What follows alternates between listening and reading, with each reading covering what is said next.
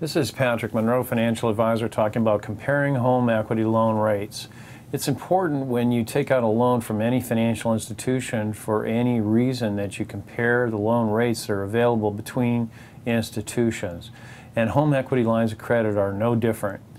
Uh, you can also go on the web uh, as well and put in home equity line of credit and receive a myriad of offers from different web-based organizations as well. Uh, find your comfort level, find the best uh, budget uh, for you, and uh, of course you can achieve the best uh, level of return.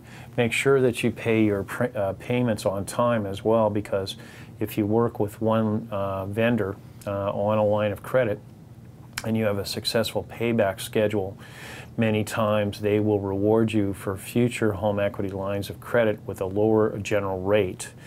But like all things, research is important when you're researching the best rate that is available for you. You can do that locally and on the web. This is financial advisor Patrick Munro talking about the difference in home equity lines of credit rates.